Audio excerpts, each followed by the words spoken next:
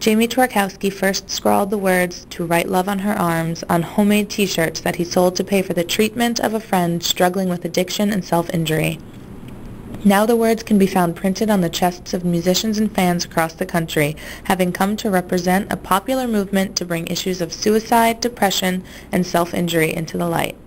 Katherine Hollien, Emily Abi-Kheirs, and Jessica Stacy are among thousands of young people who have become involved in To Write Love on Her Arms and embrace the cause as their own. How did you guys hear about To Write Love on Her Arms?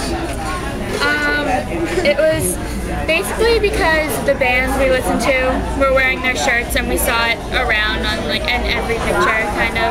Um, I have a website and it kind of trickled through everything with links and all. So. Okay, so you had friends who Yeah. linked linked to it. Oh, cool. So when you read the my, uh, to write one story, why did it affect you? What?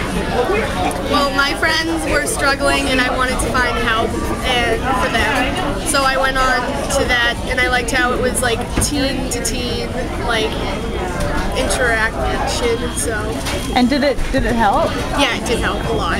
Oh, good. They're And doing better now. oh, good. Cool. How about you? Okay. It's basically the same thing. Like a lot of people I know struggle with um, like things that are on that website, and like it just helped them because they realize that it's not something that you can ignore. Like you need to tell people if you have a problem, and there's actually like a group that will care. Like Other people out there. yeah, there's other people. You're not alone. Yeah, I was struggling with it all and stuff. So um, I went to Try Love in Her Arms and that kind of showed me that I'm not alone and that there's still other people there that are struggling through it too. And there's other people who are kind of in your age range. Yeah. So what do you want to do with it? You want to like help other people? Yeah.